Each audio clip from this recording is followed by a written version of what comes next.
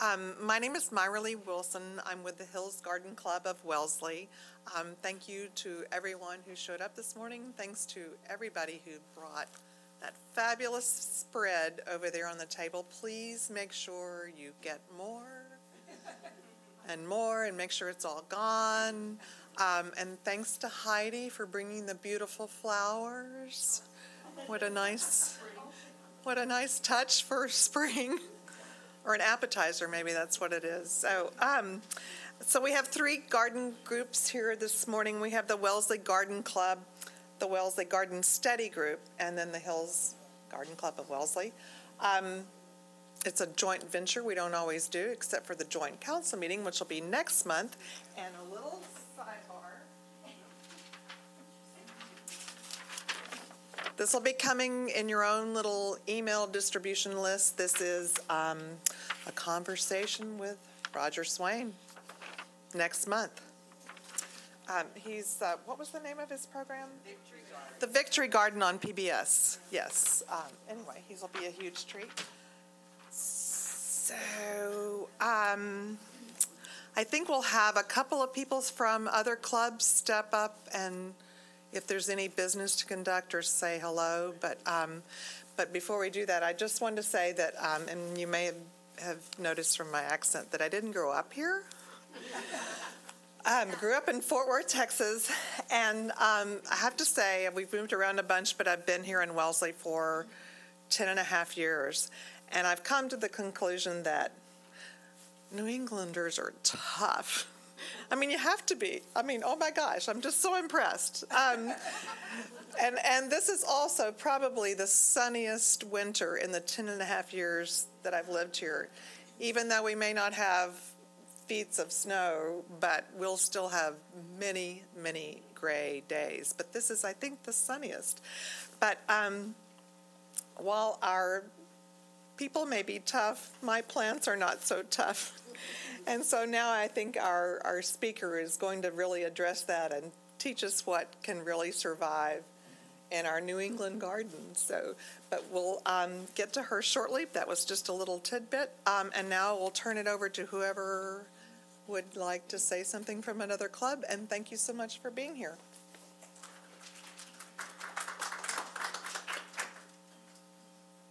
Good morning, everyone. I'm Lorraine O'Hanlon, and I am the president of the Wellesley Garden Study Group for this year. And a couple of just real quick announcements. Um, not a whole lot of business to conduct, but just highlighting some dates. Um, as Myra Lee said, the um, joint council meeting is on May 4th, and so um, for our club members, our treasurer, Ellen Stalin, is here, and if you'd like to purchase your ticket today, it's $15, and tickets are limited uh, because it's obviously all the clubs together. So um, if you can buy your ticket today, that would be tremendous. Um, we have um, our garden therapy friendship circle luncheon is on Monday, April 8th. And uh, Lori Plum is organizing that for our committee. So if you're on her committee, you'll be getting email updates uh, with your assignments and all that. Uh, don't forget about Art in Bloom, which is April 26th to 29th at the MFA. Our club is not doing a field trip, but we encourage you all to attend. And Frances Antonelli and her assistant Aaron Riley will be um, creating a piece on behalf of our club, and so we're very excited to see that. So I encourage uh, everyone to go to that. Um, we are doing our um, Kentucky Derby fundraiser party on May 4th at my house. Um, it's going to be from 5 to 7:30, and um, so you'll be getting further updates and emails on that. Um, but we are having a planning meeting on March 25th at my house, and our newsletter will be going out in the next week or so, so there'll be a reminder about that. But I encourage anybody interested interested in helping with that event to come to the planning meeting on March 25th. Um, for our board members, that's also going to be an extra board meeting that's not in the program in the yearbook. Um, we've added that just to try to um, be able to conduct a little more business um, since we don't have a meeting in April. Um, and then finally, uh, well, two, two, second to last, um, we were going to have our annual, May annual meeting on May 13th. Um, it's going to be uh, uh, tour and picnic lunch at the Gardens at Clock Barn in Carlisle. Um, And so, again, you'll be getting more details in the um, newsletter. And look for an email from uh, Blast. We're going to do box lunches from Roche Brothers, and so you will be asked to make a selection of what type of lunch you want and RSVP to me because I am the um, refreshment chair for that meeting. Um, And that's it, I think, other than um, Michelle Livingston is our nominating chair, and she was just going to make a very quick announcement.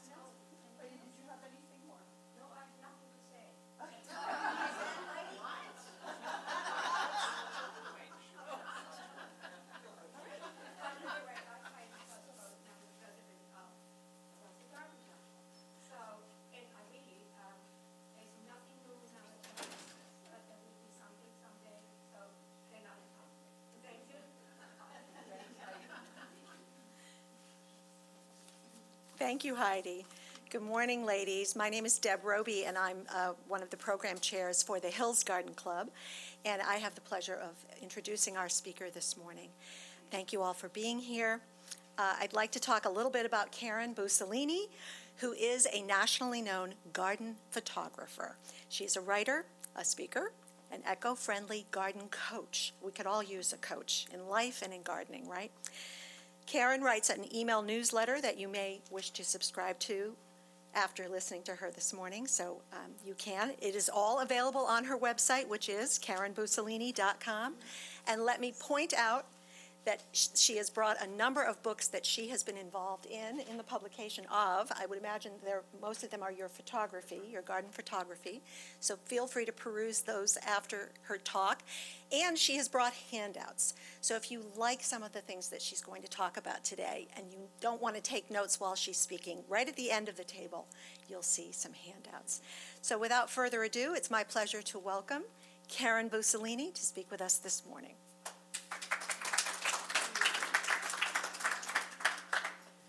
Thanks. It's, it's great to be here. And um, if I start fading out, would somebody just say, speak up? So if you would like to sign up for eco-friendly news, views, clues, and how-tos, I will send a clipboard around because you need to opt in these days. I can't just send it to you. So if somebody will, the- if the last person would just bring it up to the book table, that'd be great. So, You're in the front row, so you get it. Uh, Terrific. Well, um, I've heard it said many times that you don't really know how to grow a plant until you've killed it at least three times.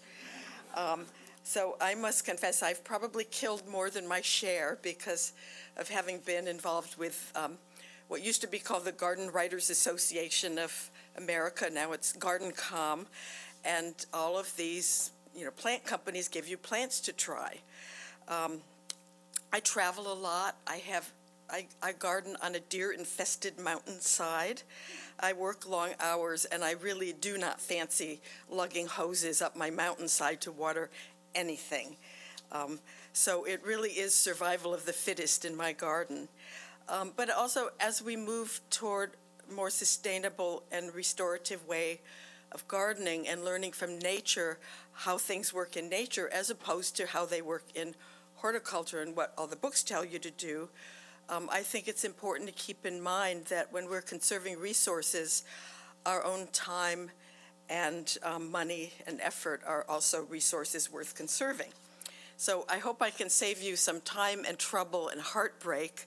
You've probably noticed that those $8 perennials now cost, uh, you know, $22, $23, $24. Um, but we all kill plants, so you shouldn't feel like you're a failure. That is how you learn. Um, I would like to uh, shorten the odds a little bit on survival. So, you know, some plants, as we've all learned, just look good in the catalogs. Some are prima donnas and just don't make it. Some are a little bit too enthusiastic. Um, we're going to look at two really important kinds of plants ones that are widely adaptable and ones that are adapted to the conditions you have in your gardens. So I've really, uh, due to my neglect and travels and disinclination to fuss over things, um, I've really come to value those plants that do three things. I expect plants to be beautiful, to solve problems, and to support wildlife. So that's going to be my, my focus. So I hope that um, looking at some survival strategies, we can learn how to select plants that will survive in our gardens. And the whole Darwinian thing is, you know, Darwin said, plants and animals are bound together by a complex web of relations, which I think is important to pay attention to. But first, let's look at some plants. So, some survival strategies. Um, oh yeah, could we could we get the lights turned down a little bit so you can see the pictures better? So this is um, Artemisia stelleriana. Is that better there? On the Cape Cod dunes. So these are taking the brunt of you know, full force of the wind and the salt, salt air, sometimes saltwater inundation, um, sunshine, you name it, it's really exposed. And in what some might call excessively well drained soils. Um, and there it is surviving. And silver is a mechanism for survival. So they're perfectly well adapted. But you know, gardening is so much, so often a story of love and loss. We all fall in love with plants that we can't grow. My friend in Austin uh, loves lilacs, and she spent the whole winter. She had an, an outdoor kitchen with an ice making machine, and she put ice cubes around her lilacs, trying to get them to have enough chilling hours to bloom, and they never did. Um, this is Virginia Beach at Christmas time. And I pulled into town. I thought, what is this a Christo installation? What the heck is that? And then I saw the palm fronds. So it's like in the summer, they're palm lined avenues. And this is what they have to do to keep them alive over the winter. Um, it's like, you know, life is too short for those kinds of measures. um, and this, this garden really got me thinking. This, so, this is what a neighbor called her Darwinian cutting garden, where she just threw anything she had or took a fancy to and let them slug it out. And there were two really um, kind of illustrative examples. So she had um, uh, Artemisia Silver King and a Lysimachia, and they are both garden thugs. They will take over if you plant them in your perennial garden. Well, she had them in a bed between a stone wall and a walk, so they couldn't travel out of it. But she noticed that, you know, in dry years, the Artemisia Silver King really took over and kind of outcompeted the Lysimachia. And in wet years, the Lysimachia took over because it preferred the more wet situations. So, um, you know, this little garden really got me thinking about that. And you know, we think about plants like slugging it out, different kinds of plants slugging it out with each other, but the whole idea of survival of the fittest is within a species or within a genus. So uh, this is Leucophyta brownii, the Australian cushion bush, and maybe once upon a time this was green, but in nature, as opposed to horticulture, where so many of the plants we buy are vegetative propagated clones, so there's genetically identical. Um, in nature, there's a lot of variability. And so maybe as the climate changed, the ones that were a little more silver, which is protective against heat and drought and sun, um, those were the ones that survived to be able to reproduce. And then their progeny that exhibited those characteristics went on and on and on and on. And you know, silver plants are actually green underneath it all, but it has silver hairs that make it look look green. and the leaves are so reduced to, to hold on to water. Um, so those are the ones that are going to survive. This is a, um, a, lupine, a, a lupin in Idaho, and this has a kind of double whammy for survival. So underneath that silvery look, it's really green leaves, but the silver hairs trap moisture next to the surface of the leaf. They prevent the wind from desiccating that leaf, and they are reflective, so each little hair is reflecting sunlight, and each little hair is making a shadow. And then look at the, the leaf, the shape of the leaf, it's cupped, so it further is protected from um, desiccation from the sun and the wind. And then when you look at something like our native moosewood, this is Acer pennsylvanicum, which is an understory plant in the northeast forest. And look at how large and tender those leaves are. So those are not protecting themselves from the sun. Those want to be soft and tender so that they can soak up as much sun as possible. So there's, you know, there's a clue to survival that generally downy silver plants aren't what you'd plant in the woodland. Um, you want to look for things with large, soft, tender leaves. Um, this colocasia, this elephant ears, is really big and really dark. It's from a tropical place where it's hot, and it's not worried about um, protecting itself from the sun, and it's not worried about water loss because they're grow it's growing in a wet environment. So you know, really big dark leaf and a really little silver leaf are worlds apart. So when you buy plants, that should be a clue. Um, closer to home, a hosta planted on a, um, a, a southwest facing street corner next to a hydrant where the dogs pee is not a great place for a woodland plant. And um, these leaves are all kind of burned on top, but with a big clumping thing like that, those upper leaves protect the lower ones. So, not a great siting for such a plant. As a rule of thumb, when it comes to silver plants, the downier and hairier the plant is, the better drainage, the more sun, and the more um, air circulation it requires.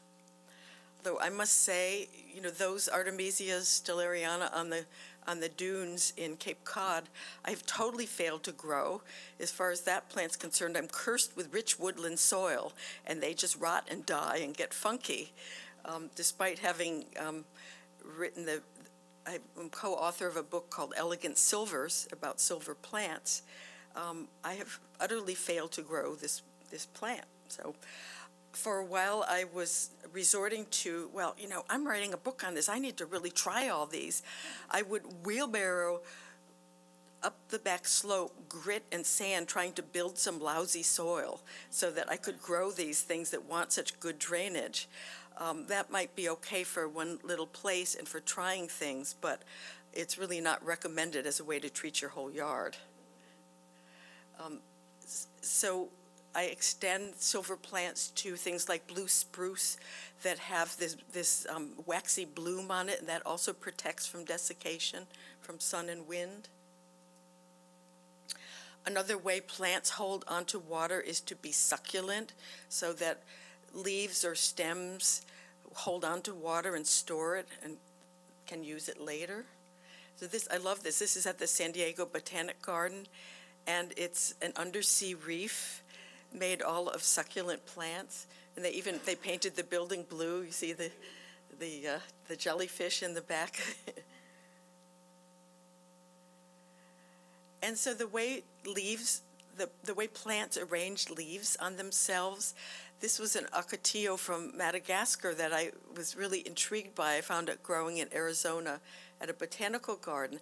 So it has reduced leaves. So something with tiny leaves is really trying to photosynthesize but trying to protect itself from too much sun. And look at the way they're lined up. So each individual leaf can collect the sun, but it's not shading the ones below.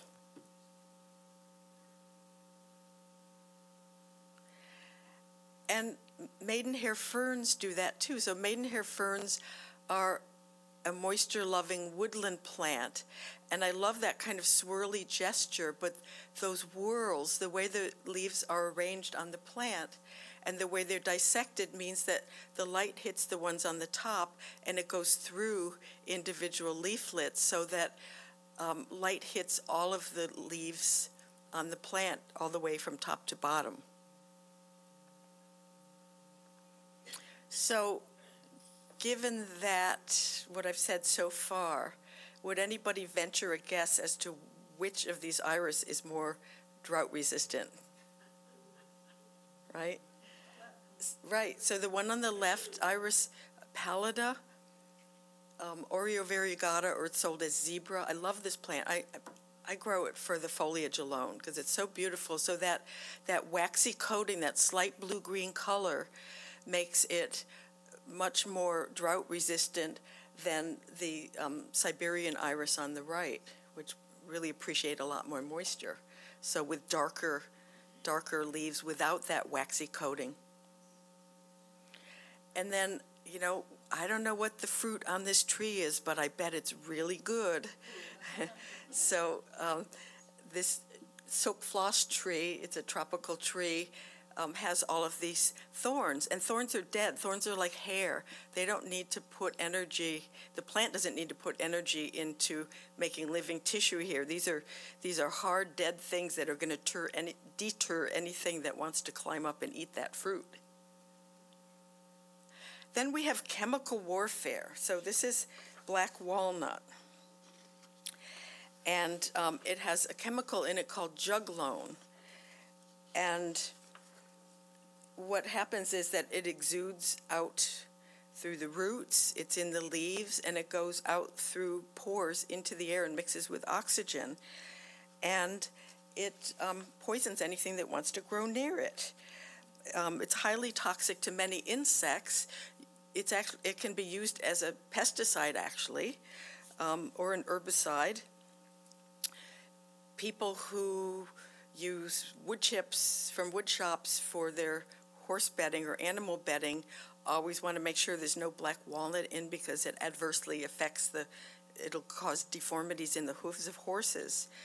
Um, but it's worth paying attention to. There you know, it's a native tree. It has co-associations with other plants in nature. It's not all by itself. Um, so uh, lilacs, which are not native here, but red buds, heucheras, and monarda are quite tolerant. They can grow near this tree, but azaleas and rhododendrons and blueberries are highly sensitive, and they will really suffer and or die if you plant them near a black walnut tree. So a lot of plants have that characteristic. It's called, um, they're allelopathic.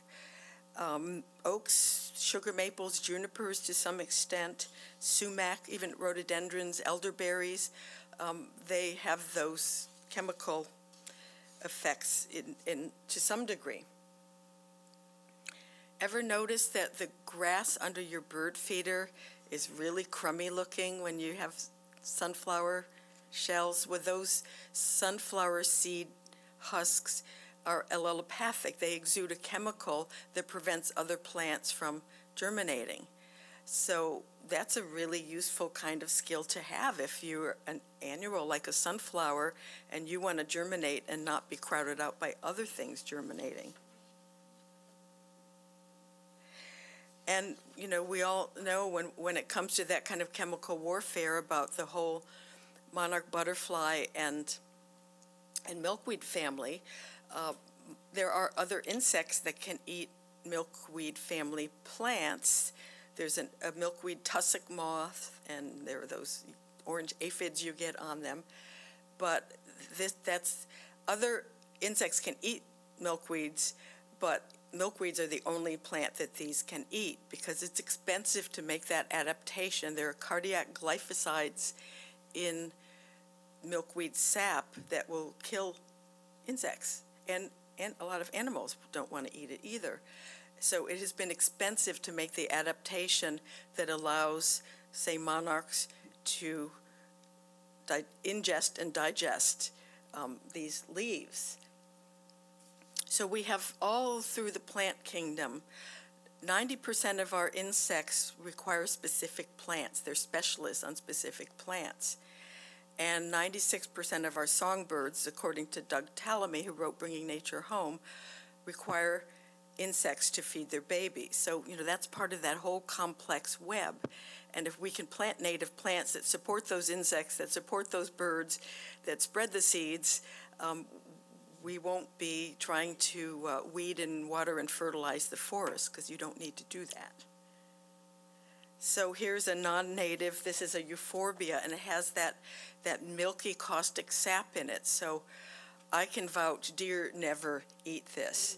If you work with any euphorbia, wear gloves because it's worse than poison ivy and it's activated by sun. And there are other plants that sun activates the chemicals, like St. John's wort. Like if you take St. John's wort pills for um, depression or you know winter affect, affective disorder, um, you have to cover your arms. You'll get sunburned because sun activates it even when it's in your system. But I noticed that uh, St. John's wort gets these leaf rollers, and what they do is they roll themselves up in the leaves and they can chew away because the sun isn't hitting them. They're inside the leaves. So that's one of those Darwinian adaptations. Um, deer have certainly figured out which of these have toxic or disagreeable chemicals inside. I mean, good luck growing tulips where I live. Um, a lot of silver plants and, and those Mediterranean herbs have VOCs, so volatile organic compounds, and that's where the fragrance comes and the flavor, and they play a role in in holding on to moisture, but also deterring uh, herbivores, whether they be um, insects or four-legged. What do we call them? Four-legged uh, large rats with antlers and other plants. so fragrance is, is a is a good, you know, a really strong fragrance is a is a good clue if you have um, large herbivores in your yard. Um, scent does deter things. This every time I'm in my garden in the spring and I think, oh man, the skunks are out. You know, because I'm on a slope and the scent's kind of drifting down the slope. And then I realized, oh, the Fritillaria imperialis, they smell like skunks. So what deer is going to stick their head right into something that smells like a skunk? Um, anthocyanins, so uh, uh, something with dark leaves like this, might be um, a deterrent for something like tulips, which uh, deer certainly do love.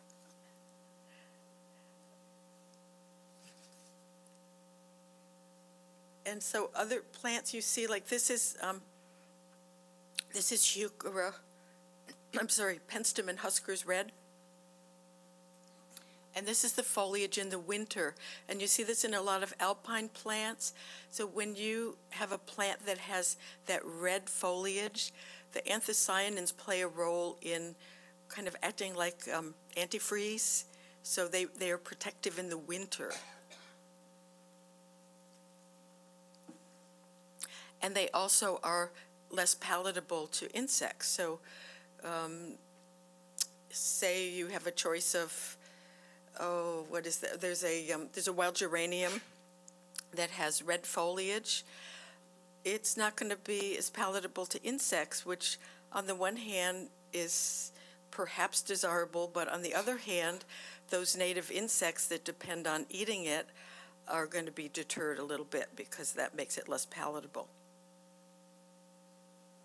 And so here, this is a Japanese mustard spinach grown through the snow in my garden. That red color really protects them in the winter. So we have um, all different strategies for life cycle survival. Um, you know, the invest the playoff between investment in structure and reproduction.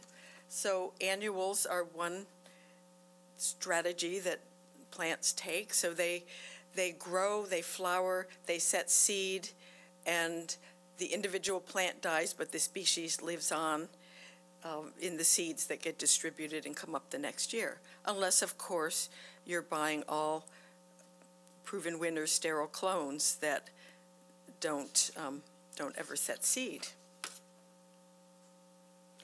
And then we have at the other end, you know, something like this is Nyssa sylvatica, the tupelo tree, that puts a lot of its energy into making this big structure. And that big structure is kind of rigid.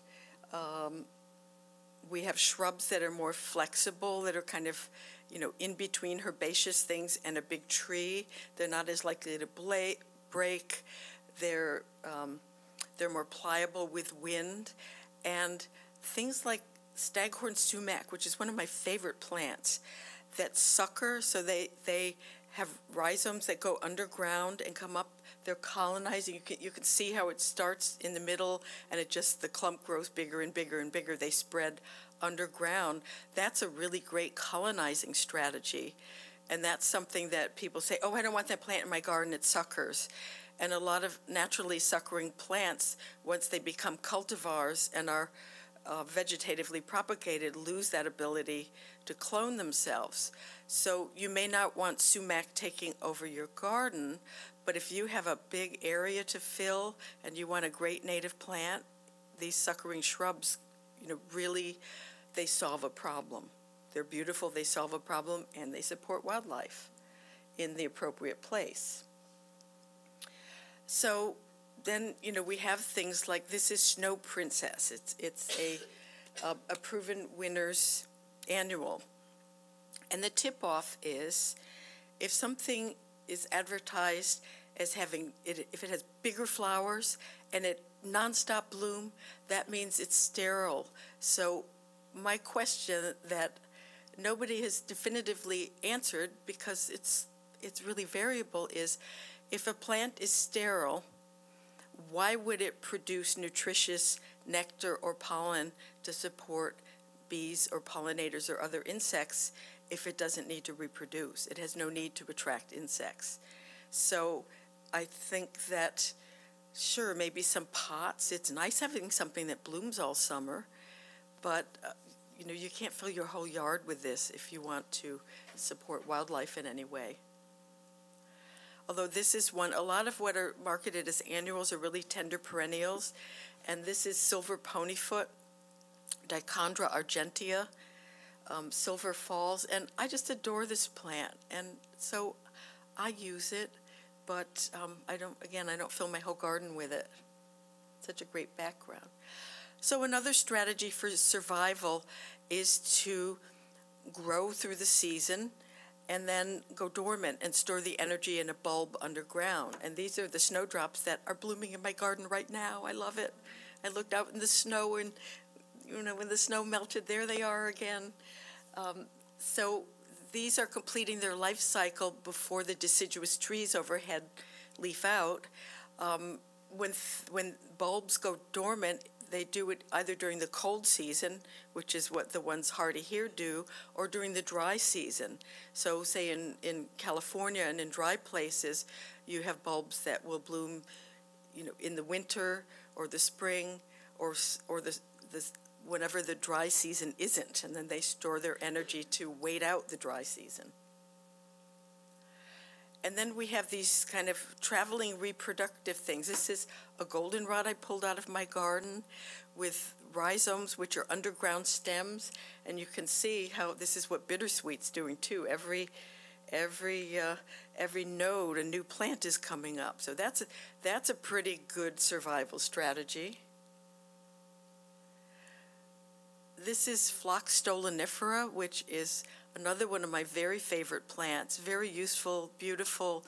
The instant it blooms, the hummingbirds come, the very instant. And it's stoloniferous, so you can see those little stems reaching out. Those stems grow out, and when they hit the ground, they root, and they wind up making a mat of foliage. So, great native plant. Then we have biennials, and this is Salvia argentea. And biennials make a rosette the first year and quite often have a tap root, so they're quite often rather hard to transplant. So here's this big, beautiful woolly uh, first year rosette, and I don't have a shot of the of the second year when they bloom and set seed and die. Um, but this is clary sage, which looks very much alike, but it, Salvia argentea has a white flower. So the second year, the leaves are green, they flower, they set seed, they die.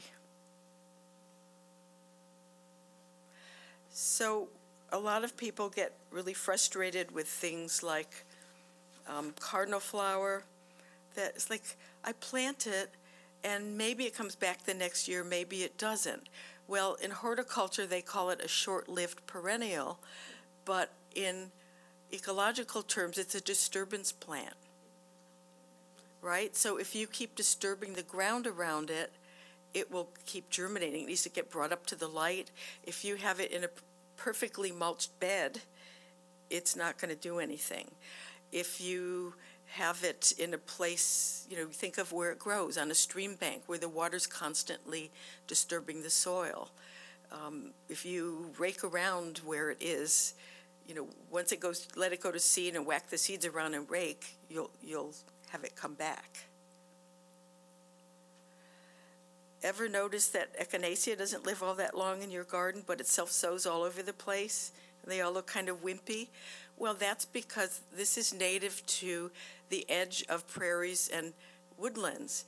And when there's a constantly moving edge, it's like the prairie's not moving into the woodlands, right? The woodlands moving into the prairies. They can't pick themselves up and move. So their strategy is to live a short life, reproduce like crazy, and so their seeds remain, the species remains even though the individual plants don't. Another um, seeding strategy is this is Chasmanthium latifolium and has very heavy seeds that tend to just drop where they are. So if you don't make lovely bouquets of this plant, I find that it's it must be too big for our overwintering songbirds to eat um, all of those seeds drop to the ground and every blessed one of them will germinate. but it's so beautiful. Another seed dispersal strategy is this is our native witch hazel, and you see these capsules.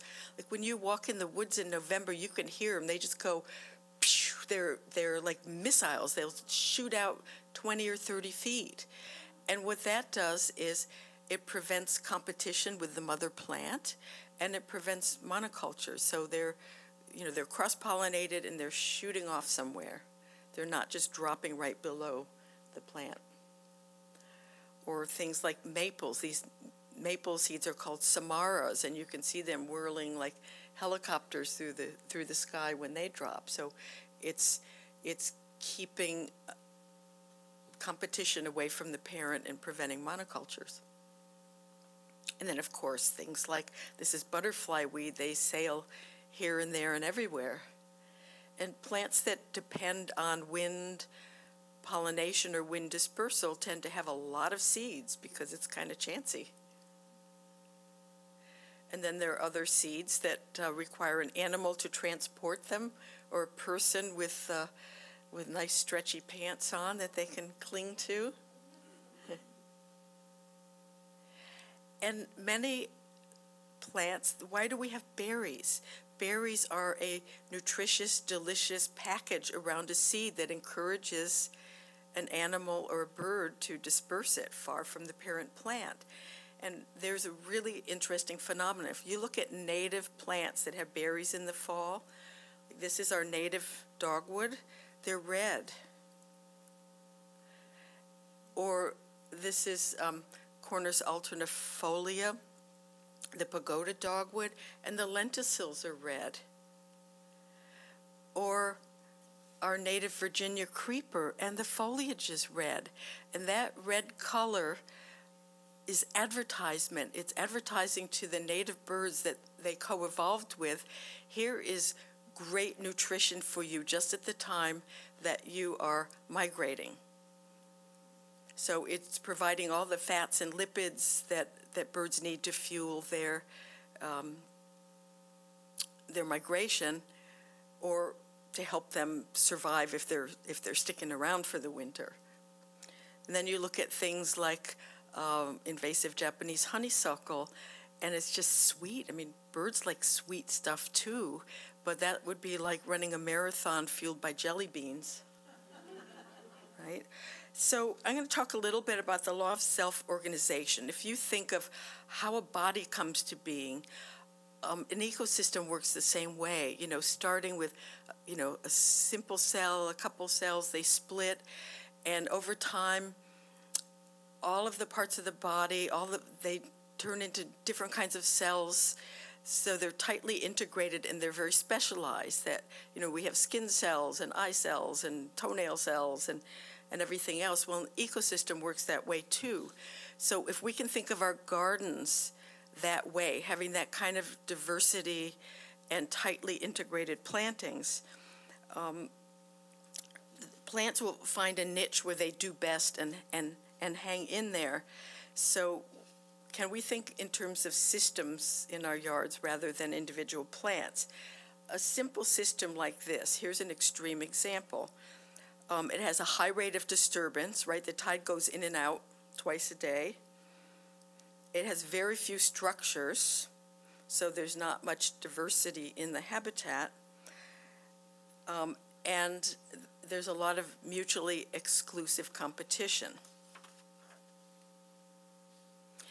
And then to contrast with that, you look at our native deciduous forest. And this is a mature complex system. So it's got a lot of physical structure. It has a low rate of disturbance and it has a low rate of exclusionary competition. So everything in this forest has sorted itself out so that nothing's directly competing with anything else. So you have those canopy trees catching the light way up high. You have the understory trees like witch hazel. This is our fall blooming native witch hazel.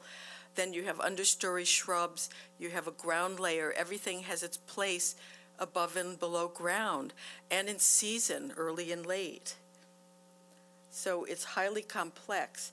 And even underground, you know, we have all of these mycorrhizae, we have all kinds of detritivores and insects. The ground in a forest is, is even more diverse. The life is even more diverse underground than it is above ground. It's very complex, and all the niches are taken and the same with a prairie. Um, I didn't realize until I was on an Idaho prairie in the spring that, oh, it's just like the rainforest is layered, and there's something taking those upper spaces right down to the ground level and underground. Um, and then we have invasive plants like garlic mustard. And invasive plants are not just aggressive garden thugs. What they do is they displace the natural communities. And because they come from away, they don't have those insects that have adapted to feed on them in their native home. And so they get an edge over our native plants, which are um, do have relationships. They are set back by native diseases and native insects. So these have no restraints and they have all kinds of mechanisms for getting the upper hand. So, garlic mustard is evergreen, so it's photosynthesizing much longer than the native understory um, plants. It's a biennial, so that first year rosette often shades out the seeds of native plants so they can't germinate. Um, here it is flowering. You see all those those little um, spur-like structures. Those are going to be all full of thousands and thousands. And I think one. I think I read that one. Um, one garlic mustard plant can send out 2,000 seeds, and they're light and they're windborne, and they just they have a fantastic reproduction rate. And in addition to that, it exudes chemicals that kill the mycorrhizae in our forests that the forest trees depend on and there's a relationship with invasive Asian earthworms. So there's that, that complex web um, that they've really um, disrupted. Another bad side effect, they're trap plants. So there are certain native um, moths and butterflies that can only feed on mustard family plants. You know, they're specialized on that family, and so they're attracted to lay eggs on this plant, but then when the caterpillars hatch, they can't eat it, so they die because they can't eat something else. So we have these um, really insidious um, plants, and, and deer don't eat it, but we can. It makes the best pesto. And you actually can eat the seeds like mustard seeds, and you can eat the roots, use it like horseradish. But it took me a while to get around to this because I was so busy pulling it. And I hated it so much. But um, we can look at that life cycle. Cycle. Okay, it's a biennial, right? So it grew the first year. It put its energy into flowering. If you cut it at the ground at this point, it dies. It's put its energy into flowering and starting to make seeds.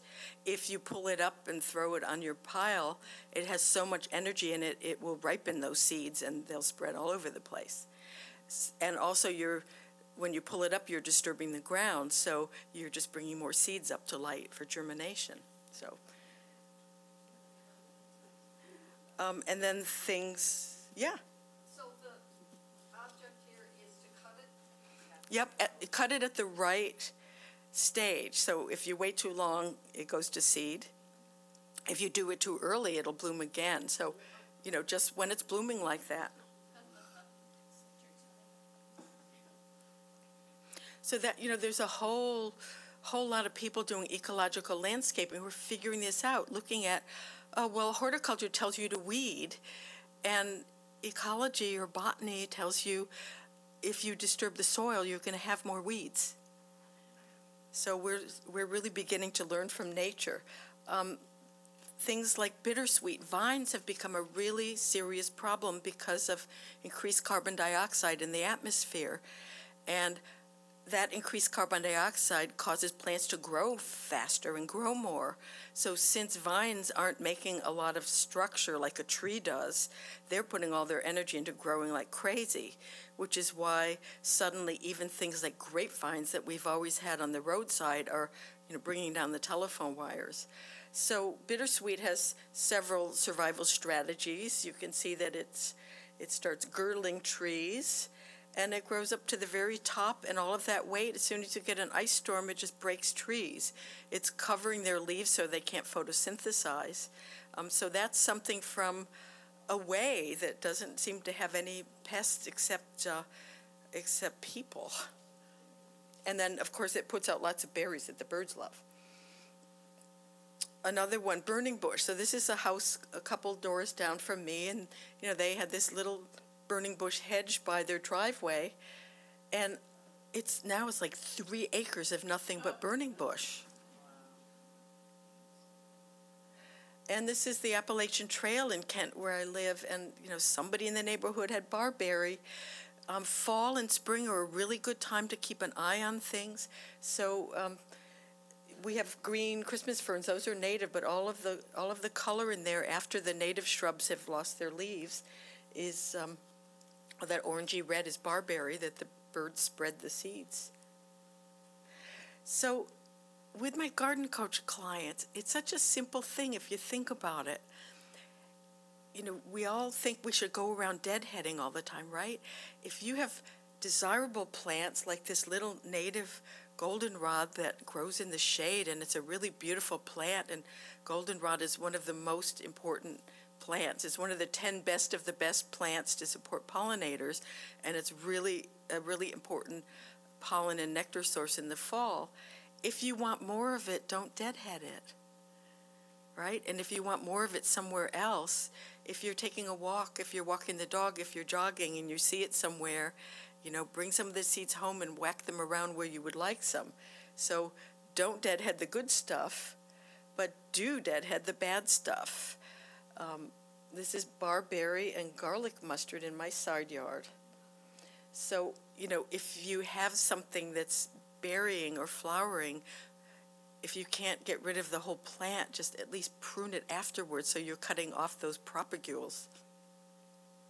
Okay, so we have some really adaptable garden plants that you see all over the country. So Amsonia, blue star, this is Amsonia tabernaemontana and it has that white milky sap. So I've never noticed anything eating it, but it does support pollinators. Virginia creeper is a great plant. It's not, um, you know, people don't distinguish it from poison ivy, and bittersweet girdles trees. It wraps around, but you may recall in that slide I showed a little while ago, the Virginia creeper grows straight up the trunk and then it kind of drapes itself out along the branches and it does not smother its host. You know, it has co-evolved with our native trees. So it grows in sun and shade.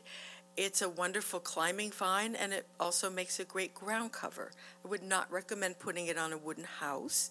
It has holdfast that, you know, will wreck your siding, but you know, here's a great use. What are you supposed to plant in this three inch crack between the driveway and the wall?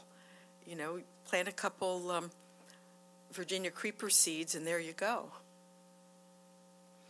Here's one of this is not a native plant. This is Geranium macrorhizum, means big root, and this is one of those problem solver plants.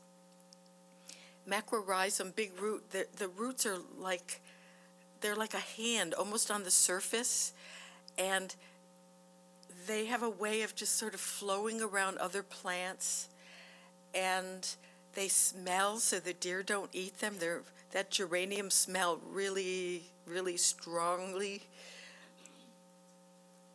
And if so here they are in the winter. They have this winter presence a little bit. They just flop down. They grow in dry shade under maple trees.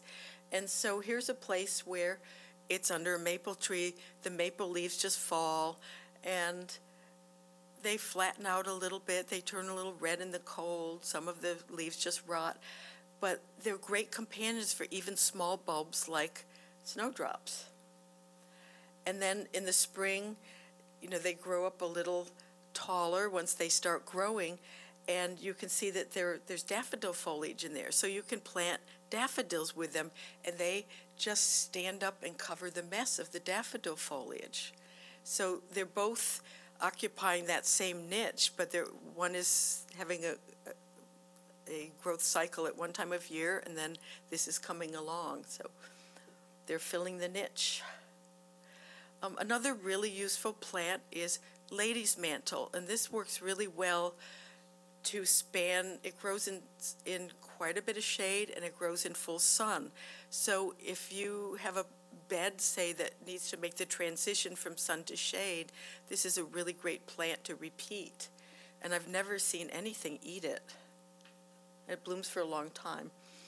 Um, lamb's ears, uh, penstemon huskers red, euphorbias, um, nothing really eats them, and they're lovely and they last a long time, and they're adapted to the penstemon will grow in quite a bit of shade and it'll grow in full baking sun.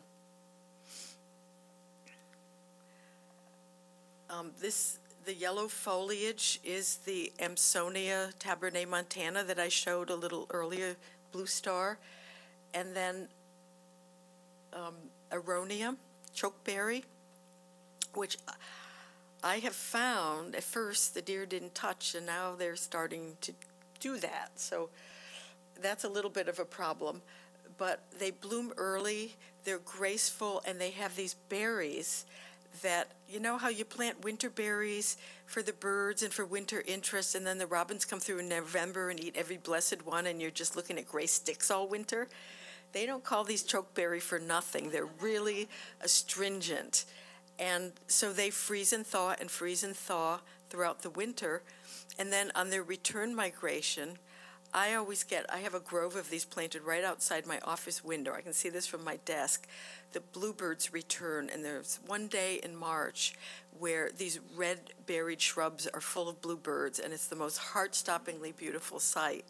So I, I have uh, clients who are really, really total bird nuts, and I did some garden things for them and planted it right outside their window. And she called me and said, It did just what you said it would do. You know, I've been putting out mealworms and trying to get bluebirds for years, and they never came before. so that was pretty good.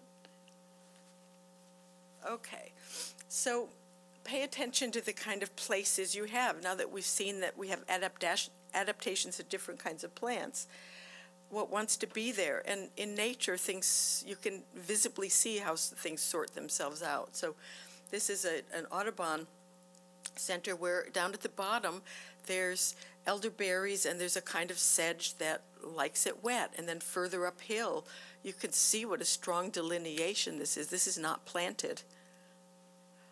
Um, so, what wants to grow there? This is a place near me that has acidic soil, you know, really rocky, mineral rich, but nutrient poor soil. And the um, hay scented ferns and the mountain laurel were already there. So, they just took out what they didn't want and let those things tell them. The site will inform you what wants to grow there. Um, this is Veronica incana spicata.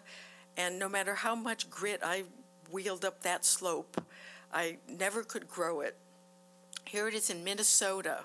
So it wasn't that it wasn't hardy, it's next to a driveway in grit, far away from any hose, and looking absolutely beautiful. So um, this is the Denver Botanic Garden, and they do these low water gardens. This is alkaline soil and plants that don't need water. So if you have that kind of situation, you're going to want to look at things like dianthus and centranthus and um, and salvias, a lot of different salvias in here. And verbascums, the mulleins, those tall yellow ones. I mean, is this gorgeous or what? And I, I don't think they water it at all. So instead of trying to constantly amend soil to be that ideal garden soil, whatever kind of place you have, there's something that, you know, I hate to give agency to plants, something that wants to grow there. So nutrient poor soil, little blue stem grass is just, it's such a beautiful grass.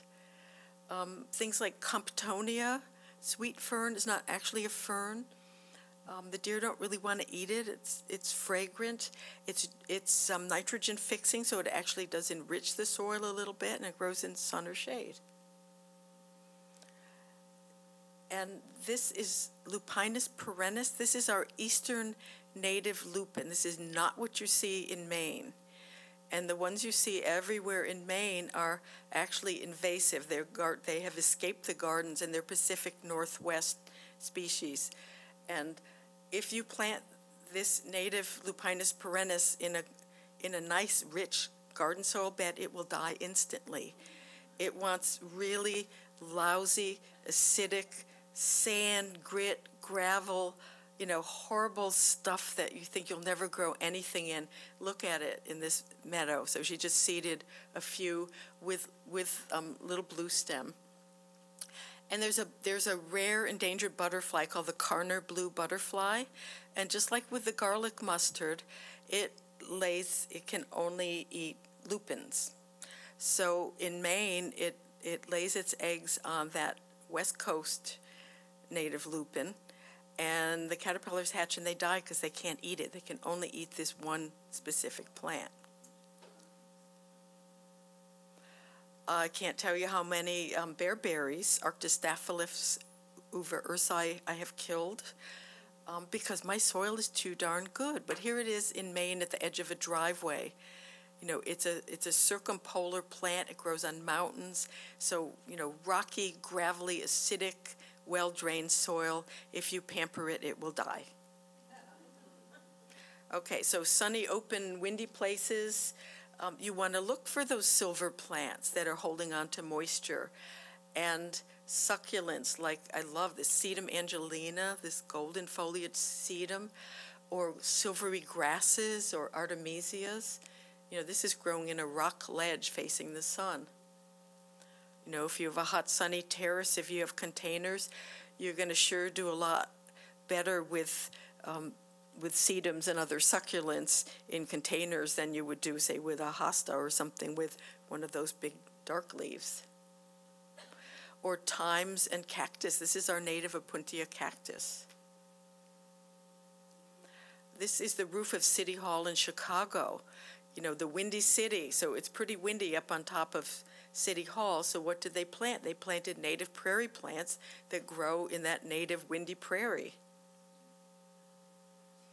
Or even this is a garden on Commercial Street in Provincetown, um, drought-resistant coreopsis and um, Nepeta, the cat mints, with kind of gray, silvery gray foliage, very drought resistant. Or the bluish junipers. So, you know, you look at even like blue rug junipers or a lot of the ground covering junipers, they look awful this time of year. This is um, Juniperus horizontalis wiltonii, weeping over a wall in Minnesota where it gets like 40 or 50 below zero, and they said they never get any winter burn on this plant. So I think the more silver, the more protected it is. Okay, wet spaces. Um, this is a periodically overflowing brook, and there's Joe Pye weed and all kinds of grasses in there and Physostegia that can really take wet or dry. Um, this is at the Berkshire Botanical Garden, and it's a, a detention basin. This is where the water that runs off the road it has to go somewhere. So they run it into this place, and they've got um, native shrub dogwoods. They've got native winter winterberries, um, pussy willows, all of these suckering shrubs that really like it wet, but can take it when it dries out. So looking at what grows in a roadside ditch might suggest what you do with um, wet areas in your yard, rather than trying to fill them in. so here's the Heritage River birch. It's a, um, the, you know, a white birch would not like it super wet, but this is a, uh, a birch that is native to riversides or a suckering native um, red twig dogwoods, Cornus stolonifera. Of course, winter berries like it wet. And so here's an here's a trick. Winter berries, boy, the deer love them. They just chew them down. I have a, um, a, a friend and colleague who, he said that 10 years ago the deer didn't used to eat them. Now they eat them. And he surrounds them with inkberry, which is an evergreen native holly, and the deer don't like that, so they actually protect the winter berries, which grow in the same kind of conditions. So other plants that like it wet, um, Juncus effusus, that that um, the the reed that you see there, um, a lot of carex, and this pink flowered plant is turtlehead, Chelone. So here's a plant. I have been in the floodplain of the Susquehanna River. And in the spring, you know, the river overflows its banks and it just fills the woodlands. And this is such a great example of how you can use um, those niches to make a really self sustaining planting. So on the left, before the deciduous trees overhead leaf out, it's Virginia bluebells. And you know, you can see it looks like a great plant for hummingbirds. It is so. It's it's a it's a good uh, plant for early bees and for the early hummingbirds. And it's in a family. It's related to pulmonarias. You can see the similarity. And what pulmonarias do, and um, I think that's what's going on here too, is most of them are blue. When they've been pollinated, they turn pink the flowers turn pink, and that alerts the bees or whatever pollinators that it's already been pollinated, so it's not producing nectar anymore. Why would it keep producing nectar when it's been pollinated? So it gives those co evolved insects a clue. So they go dormant, they seed like crazy they go dormant and they're just a floppy, ugly mess. But then the ostrich ferns come up and they cover all the mess. So it's like it's like self mulching. This is a really self sustaining um, kind of uh, combination. So if you have a sort of wet area in the woods, you know, maybe you're shunting water off your driveway into the woods. Um, this is a, a really great way to fill space. Okay, rocky places. Um, sometimes you can't dig to plant. This is my friend in Austin who's a wonderful gardener, and she's just noticing what looks good on the roadside and collecting seeds because, as a friend in uh, Tucson said, that gardening there is more like mining.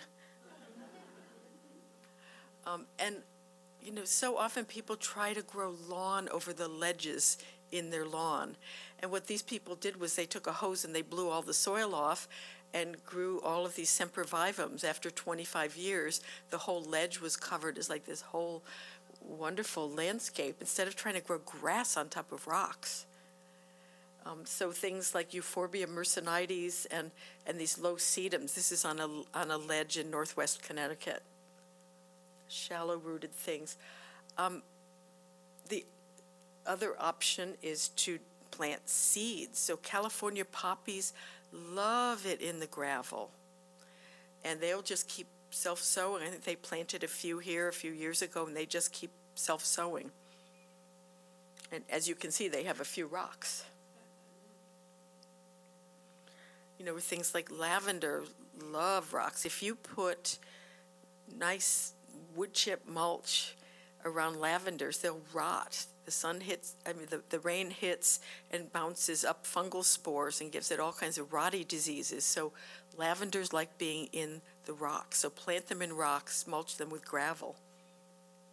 Same with thyme. So um, pussy toes, same thing. Um, sometimes we have rocks that are in the shade. I remember going to um, Bartholomew's Cobble, and there were these humongous boulders, and all the leaf litter, and um, Asarum canadense, that native Asarum that has little brown flowers that rest on the ground that you never can see. They were up there, so you were looking up into them. This is at the Coastal Maine Botanic Garden. So resist the urge to clean the duff, you know, the needles and the decomposing leaves off your rocks, and you'll be able to grow things like polypody ferns. And um, the other leaves are Maianthemum, the Canada Mayflower. And notice what grows where. You know, as in that earlier shot I showed with the mountain laurel and hay scented ferns, this was at the um, the Coastal Maine Botanic Garden, and they noticed that, oh, there are hay scented ferns colonizing the cracks in all these natural ledges. So when they did new stonework, they put that in and just let them do their thing. They just fill the space. Okay, shade. So those layers. Um, I love my coaching clients because they don't ask, how do I get the moss out of my grass? They ask, how do I get the grass out of my moss? You know, if you have a path or a side yard that looks like that, it's telling you something that lawn does not want to grow here. Um, cultivate your moss, give it some water, keep blow the leaves off it. Um, that's what wants to be there. Um, this is the um, the moose wood, that Acer pennsylvanicum that I showed earlier. It's an understory tree. It has this beautiful painted bark, and those those big tender leaves turn this gorgeous buttery color in the fall. So it's an understory tree that's putting the layers back, just like in the forest. Um, people often say, oh, those native azaleas are so leggy. Well, they're leggy because they grow in community. They haven't been bred to be, you know, balls covered with flowers. And when you have leggy plants in your garden, that allows you to put those layers back so it's more like the forest, where you have, you know, overstory trees, understory trees, understory shrubs, and a layer, a ground layer. And so, where is there room for weeds to seed in here? You know, the more plants you can pack into more niches, the lower maintenance you will have, and the more st- sustainable, self-sustaining community. So, um, hostas, of course, grow in the shade if you don't have deer. Epimediums are a wonderful plant for dry shade. They just they come out. They look like little sprays of orchids. And um, cyclamen hederifolium wants dry shade. So if you, another plant that if you put it in rich, moist soil, it ain't gonna make it. But if you have gravelly, gritty soil, so this is perfect for between the roots of trees where other things don't want to grow because the tree roots suck all the moisture out of the soil, especially on a slope. And we often have those different conditions within very short distances. So this is a yard in Maine, and the owner showed me the, the map of the, the geological map of the different soil types in Maine, and there's a diagonal that cuts through the whole state, and it cuts right through this bed, right here. So, you know, it's kind of upland, more like woodland soil above, and down below where these primroses are, it's heavy, wet clay. And so there's a real transition from from woodland to things that will grow in heavy wet clay, um, like these Primula japonica. And I love this grass. This is um, a Carex uh, Bowles Golden. So wonderful kind of color. And this is a, a garden I made for a client in Kent.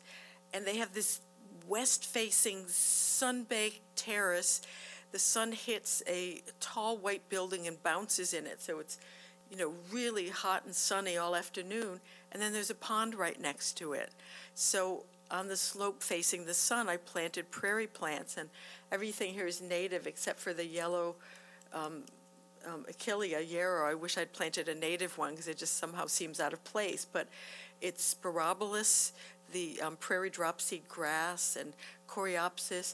But because there's such a high water table down at the very bottom, you see the pink and white flowers. That's um, um, that swamp milkweed. And then uh, muticum, the mountain mint next to the pond, and Joe Pye weed and sensitive ferns were already there.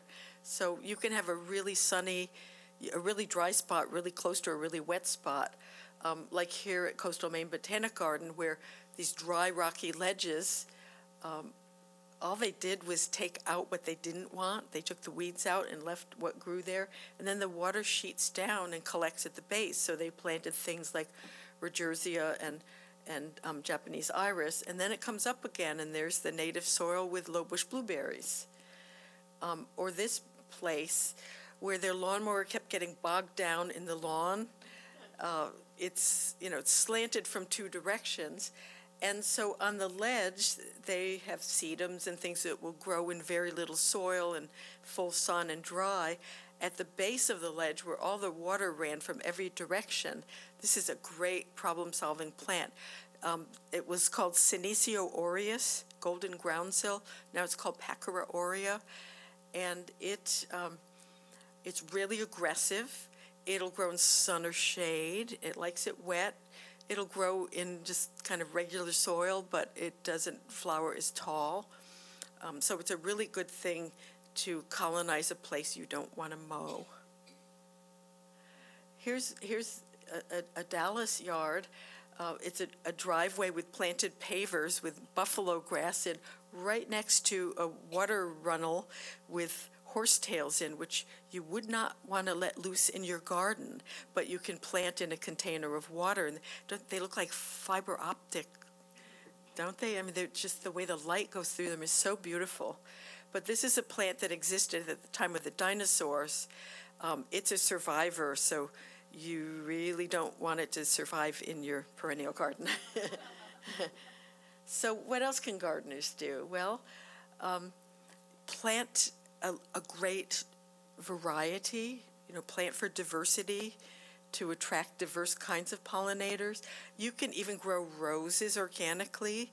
Um, don't use chemicals. We don't need to. You know, if we plant the right kinds of plants, um, there's no need. You can grow roses if you have plants that are attracting beneficial insects, which will either parasitize, meaning lay eggs in pest insects, or just eat them, predators.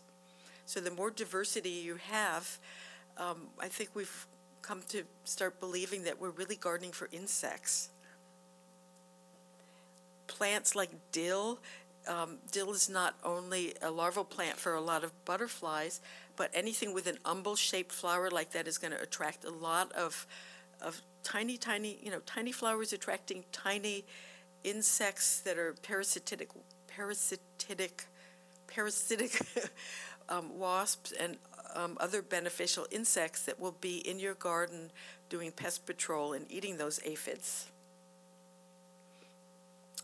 Um, plants like um, virginiana. I used to kind of hold something against this because it was just like pink, but it blooms forever. It blooms for like six or seven weeks, and it really feeds the pollinators. It's aggressive, and there's a cultivar called Miss Manners that just sits there in a little clump, and I think, what a you know what a party pooper. you know, it's boring. It just sits there. This plant travels. So if you want to really help pollinators, planting one little clump of something doesn't help much. Planting something that's going to run in a place where you're happy that it runs is really doing a good job. And so the goldenrod, this is a uh, just about to become chrysalis butterfly. I set up my tripod, had it focused. I was went back in a couple hours, it was gone. You know, bird ate it or something. Um, Monarda is a really, really good thing to be planting for pollinators. This is the mountain mint, and it's really minty. It's does what mints do, but it's a terrific plant to put around things like blueberries because the deer don't want to stick their nose in there, and it attracts so many beneficial insects. At any place you have a place for this, it's not hard to pull out if it goes where you don't want it to, but plant masses of this. Um, to support bees, this you know we need to think about pollen and in the trade, when you have uh, winter berries, they'll tell you what male cultivar fertilizes what female cultivar, right? So they're dioecious, meaning they're male flowers on one plant, females on the other. That's a really good survival strategy to prevent inbreeding. You want outcrossing for that genetic diversity. But what they don't tell you is things like this is um, Ilex compacta, so it's the it's the inkberry that that um, evergreen holly. It's a female clone, and so if you don't have males, you're not going to get berries. But they don't mark males to tell you. See the little bump in the middle? You know that's the ovary, so that tells you that's a female flower, and I failed to realize until I really got into it that you know, pollen is really important. Our not just to fertilize, but our native bees that are emerging really early, like in March from the ground, need food and protein in pollen is what what bees need. They need that protein, so they eat it. They take it back to their nests and lay eggs in it, so that uh, when the when the uh, baby bees hatch, they have that really valuable food source. So we're always advised to plant, you know, X number of hollies for the berries to, you know, some paltry number of males. But if you want to support pollinators and especially native bees, you want to plant a lot of males. So that's a new way of thinking. Um, planting a couple purple coneflowers isn't doing all that much for pollinators, but planting a whole mass of them is. Planting early in the season, the very earliest. These are these are snow crocus, Crocus tommasinianus, which the squirrels don't seem to like. You know, the squirrels that eat all the other crocuses. I planted these close to 30 years ago, and I still have them, and they just reproduce and spread themselves around. But these are blooming in my garden now, and so when there's a warm day in January, look what shows up the honeybees from the farm a mile up the road. Um, those early things like shad blows are so important. Um, this is my side yard. So the beginning of the season and the end of the season is when you want to plant for pollinators. Um, this is there's a, a, um, a, series of really hardy Korean garden mums that is no longer being made, but I give them to people when I can. Um, this blooms until from like late October until into December if we don't get it really bad. And the bees hang out there because with our, na- our native plants, with the way the climate has changed, our native plants are all gone and the bees are still active. So even though I'm a native plant promoter, we need to feed them from the very beginning to the very latest. So this is Boltonia. There's your um, chokeberry. Um, plant for wild, plant for wildlife, and it will come. um, this is an article that it's on my website that I wrote about um, planting to support the birds in winter. So this is my yard, which has been back when I did a lot of stock photography. Um, the same picture of my lawn was used in an ortho book to illustrate lawn weeds, and in a book on the Freedom Lawn to illustrate an environmentally, ecologically rich and desirable organic lawn. So um, let those ajugas go, and when they're done, just mow them. And so I'm I'm really working on reducing lawn and planting more for, for pollinators and plants that just want to be there, that will take over. And what I do is I just lay down cardboard, and I do a little bit at a time.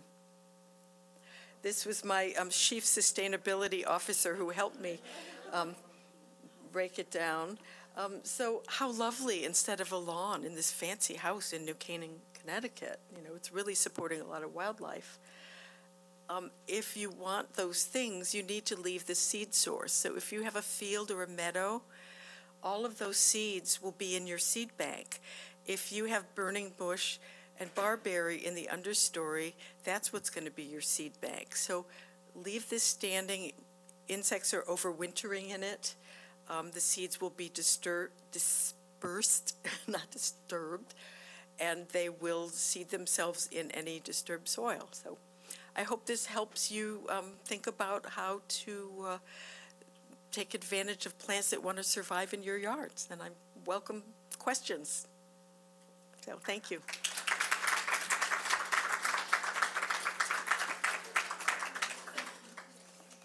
Any questions?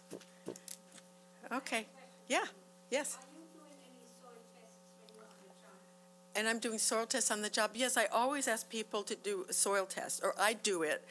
And it's not my strong suit interpreting it, so sometimes I ask for help, and I always ask for the organic recommendations.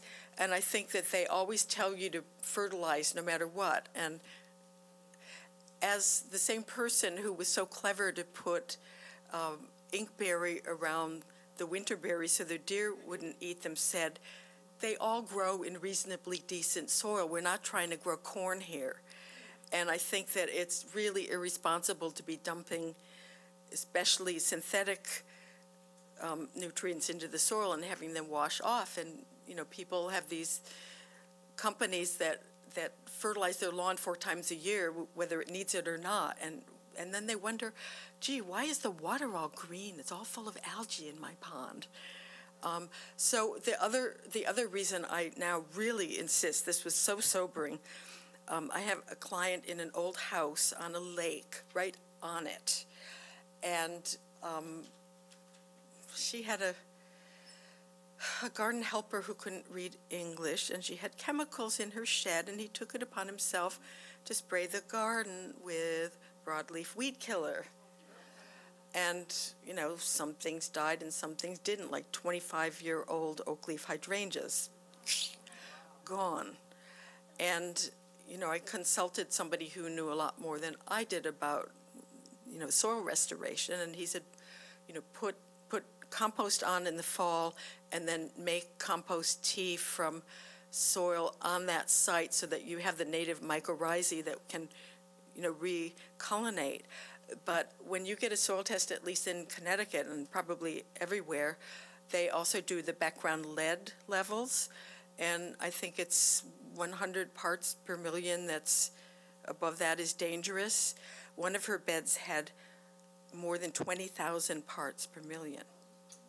And the woman was having neurological difficulties and memory trouble. And you know, it's like a hundred year old house. How many times has it been scraped and painted? And all that's going into the lake, along with the runoff for the for the broadleaf herbicide, which had like four really toxic chemicals in it. Um, anything with shallow roots, like a dogwood, would be affected. But um, boy, the lead is is serious, and so, you know, people might want to pick a sunny spot and put a little vegetable garden in uh, for to garden with their grandchildren with 20,000 parts per million lead in it. It's it's dangerous. Yeah.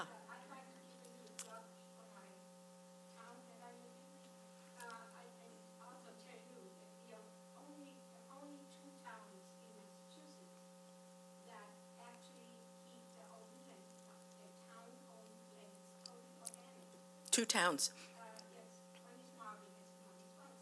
Well, they're famous too. I mean, I so I'm an I'm a NOFA accredited organic land care professional, and the people who, you know, did those pilot programs were teaching the course, and they're running whole new courses on organic land care, because I mean it is so irresponsible, but it's such a profit center. They come and they do the weed and feed, they fertilize you know, however many times a year. They're mowing in a drought when the grass hasn't even grown. Um, and so we found that, you know, quote, I don't know how it got to be traditional um, land care has been kind of resistant because if you take a soil test and learn that it doesn't need anything, boy, there's a profit center gone. Yeah. Now, we are in our fifteenth year. The first five years were very difficult because we had a lot, uh, what we call at the NRC contaminated soil. Uh huh. had to be removed in order to get, uh, a purely organic composition. Mm-hmm. soil composition. In that process, we, uh, were weeding, even the soccer fields were weeded. So, and sometimes by hand, by the way.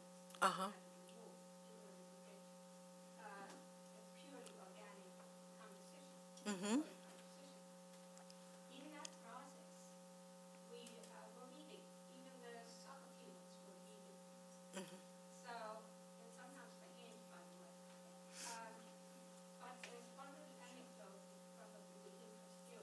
Uh, We had a lot of clover coming up. Thought you had a lot of clover okay, which is nitrogen fixing.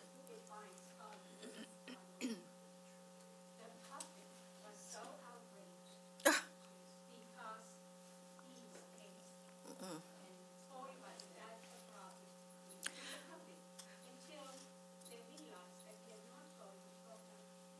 Yeah, it used to, it used to be that the mark of a high-quality grass seed mix was it had clover and yarrow and other things in it, and, you know, there's the crux of it. So simplicity means instability, and a lawn is the essence of unsustainability. It's a monoculture. It requires all of those inputs to look good, unless you like ajuga in the lawn like I do. I mean, I just figure a lawn is green stuff that you mow. Um, although a friend of mine pointed out, who's a science teacher, that she has selected for low blooming daffodils, right? Because you mow the lawn and the tall ones get cut off. And so the ones that bloom under the mower height are the ones that reproduce and, and survive. Uh, but I've had another person say, well, we need to start thinking about dandelions as wildflowers. So, anyway, thank you. Thank you.